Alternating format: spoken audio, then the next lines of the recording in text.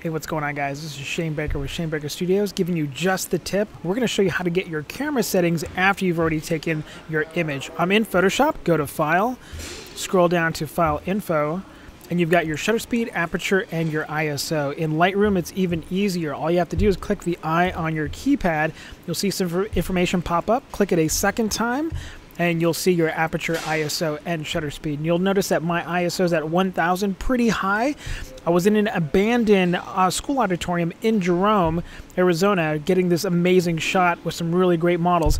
So that's why the ISO is really high. Guys, I hope this helps. Follow me on Instagram at Shane Baker Studios. Take care.